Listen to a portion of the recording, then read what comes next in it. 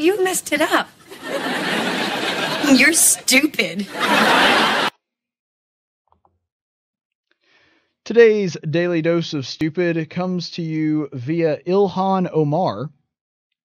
That's always fun to have her on the show because apparently Ilhan thinks that Jesus is a Palestinian for some reason.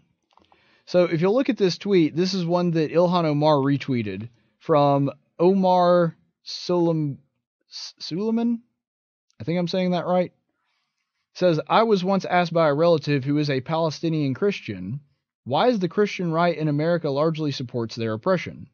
Don't they know we're Christian too? Do they even consider us human?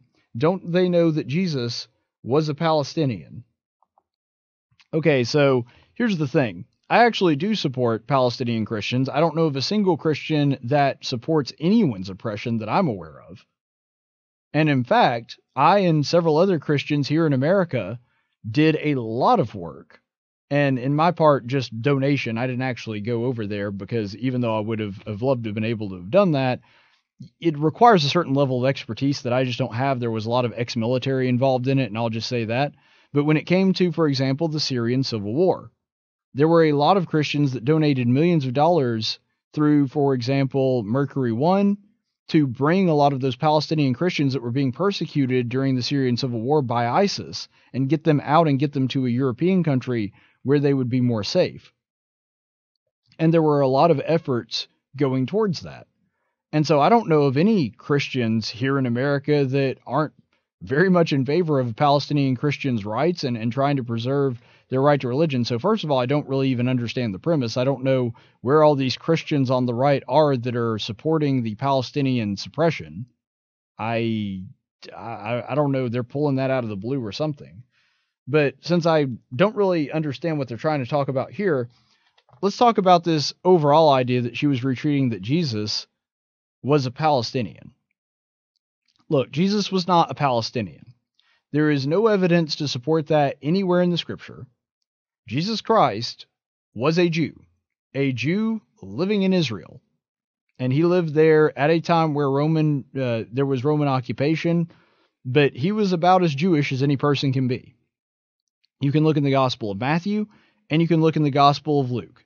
And both of them, from both sides of his family, even though he didn't actually share any DNA with his earthly father Joseph, but on both sides of his family, they are both the descendants of King David and of Solomon and of Abraham, Isaac, Jacob. You can trace that lineage all the way back to them. And so, because of that, there really is no debate that Jesus was about as Jewish as a person could get. On both sides of his family, insanely Jewish. They all were the descendants of Jews. And he was also living in the kingdom of Judea, the southern kingdom, which was Israel at the time. And so, this idea that someone who was born in Bethlehem, raised in Nazareth, and spent a lot of his adult life in Capernaum, he was a practicing Jew from a religious perspective. He followed the law perfectly, the only human being to ever do that, followed the law of Moses, adhered to its principles, uh, went through the Torah school and had a, I'm sure, a bar mitzvah, just like every other Jewish boy that came of age. He was culturally Jewish, he was genetically Jewish, and he was religiously Jewish in every sense of the word. You can't come up with a way that he was anything but a Jew. And yet, there are people like Ilhan Omar that are trying to suggest somehow, in some way, that Jesus was Jewish, or that Jesus was Palestinian and not Jewish. This is like saying that MLK or Gandhi were Irish. I mean, it just doesn't make any sense, and it's so obviously untrue. So, a rabbi named Michael Dixon took issue with this and also took issue and, and sort of took a stab at a New York Times article that was kind of suggesting the same thing. Now, there was, when he was referencing this, a New York Times article by Eric V. Copage that claimed that Jesus was a Palestinian. I think that we talked about this very uh, briefly on the show. This would have been, I don't know, about two weeks ago. And so this piece came out by Eric Copage that was essentially suggesting that Jesus was a Palestinian. Now, I do want to give the New York Times credit. Since then, the New York Times has actually come out and apologized for that and said that we made a correction. An earlier version of this piece said that Jesus was a Palestinian. It has been corrected to say that he was not. And what's crazy about this is if you're looking at the New York Times piece where this was published, there is no indication here whatsoever that it was an opinion piece or an editorial. They just basically let it print as though it were fact. And so they suggested that Jesus was Palestinian. They did go back and correct it. But the point is that originally this was what they said. Now, where he's drawing this from, there is actually a small kernel of truth to it. And I want to address that right now. He says in this article As I grew older, I learned that fair skinned, blue eyed depiction of Jesus has for centuries adorned stained glass windows and altars in churches throughout the United States and Europe. But Jesus, a Jew born in Bethlehem, presumably had the complexion of a Middle Eastern man. So there is an aspect of truth to this. We often see a depiction of a long haired, long bearded Jesus who typically has very fair skin and blue eyes. Why? Because that's how he was depicted primarily by the Catholics. And I'm not saying that this was something that was evil, but it is historically incorrect. And he was given somewhat of an Italian look. And that is because, of course, the Vatican is located in Rome. And we see similar things. There was a, a famous painting, for example, of Peter where he was working on his his portion, his contribution to the New Testament, where he's writing at a desk, which would have not been. It was sort of a medieval style desk, which wouldn't have been available to him at that time. And so this is something where there's sort of historical inaccuracies when it comes to these paintings and depictions of Christ and the apostles and other biblical figures. It is accurate that he would have had the con- uh, the complexion of a middle Middle Easternish kind of man at that time, probably olive skinned, kind of closer to Mediterranean. You know, not not uh, black like we would consider. Some something that would have looked more like someone who was a descended from an African culture. It would have been something more similar to the Mediterranean area, somebody that was certainly darker than he's usually depicted, but wouldn't necessarily be a black person either. And probably would have had much shorter, uh, probably would have had a much shorter hair and beard just because that was the culture of the time. So, but nonetheless, uh, this article also claims that Jesus would have been black, which is also incorrect, and that's one of the things that I wanted to bring up.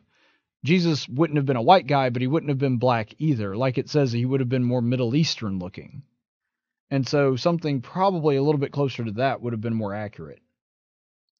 But the real question, and we need to get to the root of the problem here, is why are they claiming this in the first place? Why do they care what race Jesus was? Why do they care what skin color Jesus Christ had? Well, it really, really boils down to this the intersectionality crowd they believe that there is something moral or immoral about race. That essentially your opinions, your thought process is more valuable and more, what's the word I'm looking for here? Valid if you are of a certain race. And they also see humanity as broken up into racial teams. And so they want as many people on their team as humanly possible they would rather Jesus be a black man because in some way that makes him more moral or more valid as a thinker or historical figure in their mind.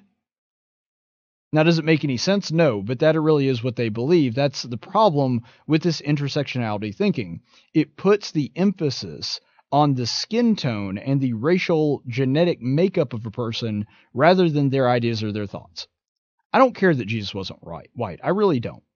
I don't care if people want to depict Jesus as something other than white because he wasn't white to begin with. The fact that he died and shed his blood and gave his life for mine is really the only thing that I care about. The fact that I still have his teachings preserved in the gospel, that I can learn from them, that I can continue to model my life by them, and that I know that He loved me enough to give His own life as a sacrificial offering and to be able to forgive me of my sins, that's really the only important thing that I need to know about Him.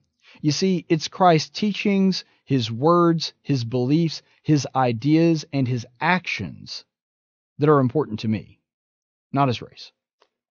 His race doesn't matter. Would it would he be any less my savior or would he be any less the son of God if he were black? No.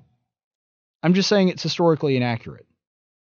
If Jesus had come to earth as a black man and who knows, maybe maybe the complexion of Middle Eastern people was a little bit darker then and he was pretty close to a black guy. I can't say that I know that for sure. It seems unlikely based on our under, understanding of history. But if that were the case, wouldn't change anything. Wouldn't matter to me if you were white, black, Asian. It doesn't matter. If he were any of those things, as long as the actions were the same. Now, his genetic heritage does matter because it was prophesied and because he had to be the the offspring of King David, and so it is important in that sense, just because it was God fulfilling his promise to the Jewish people and to Abraham and the covenant he made with him. I'm just saying that what's really important about Christ is that he was God in the flesh, that he revealed himself to us, and he became my Savior, the race is not important. And what's so ironic about this is the people that are really hung up on what race Jesus was are actually living in contradiction to the message that Jesus taught, which is don't judge with your eyes. Look at people the way that God looks at people, as people created in his image. And that's the reason that we see in the epistles that Paul says that there is neither Jew nor free, or there's neither Jew nor Greek, bond nor free, male nor female, for all are one in Christ Jesus.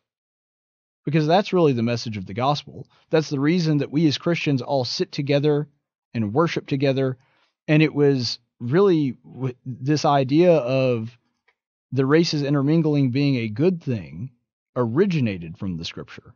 It originated with the church that Christ gave his life up for.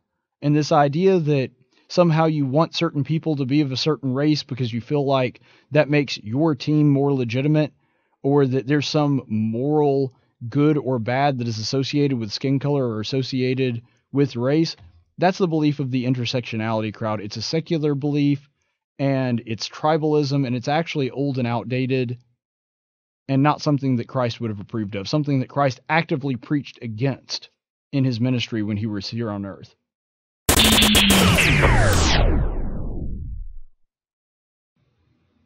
Normally, this is the part of the video where you would expect me to ask you to like the video and subscribe to the channel, but the truth is, I don't really care whether you do or not.